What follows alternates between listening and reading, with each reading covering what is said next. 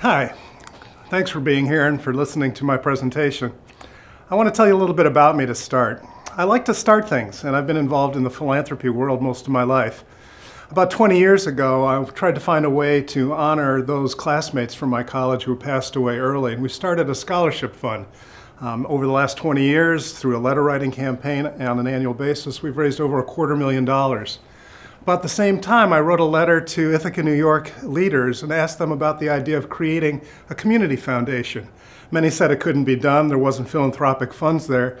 But guess what? Today, that uh, community foundation has $25 million in assets. So what's my idea? Well, it's called the Big Cleveland Big Give.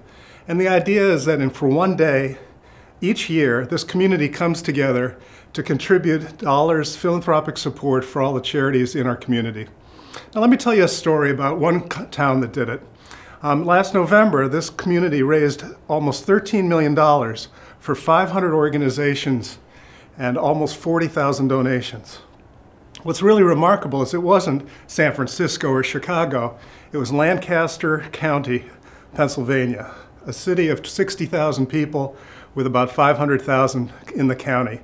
So why not Cleveland? Why shouldn't we have one day a year where we come together as a community and uh, support the charities that are doing such good work here, supporting equity, helping the poor, celebrating the arts.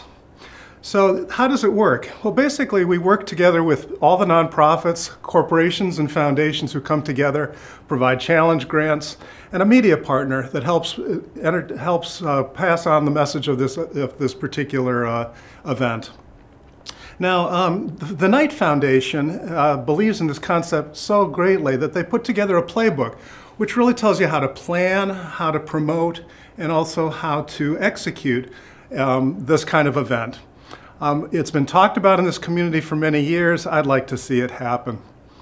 Uh, what would I do if I won? Well, first of all, I'd pay for this sign. But the thing I'd use it for is marketing along with uh, to the nonprofit community and also open an account with our online technology partner. Now, Cleveland's been a center of creative um, innovation for many, many years, and a lot of it has been focused on philanthropy. The first modern United Way happened here in Cleveland. The first world, first community foundation in the world also happened here in Cleveland almost 100 years ago. So I'd like to add Cleveland Big Give to the, the next innovation for this community. It's being used in about 500 communities around the world, raising millions and millions of dollars. I'd love to start this tradition here in Cleveland. So I'm asking all of you to think big about the Cleveland Big Give.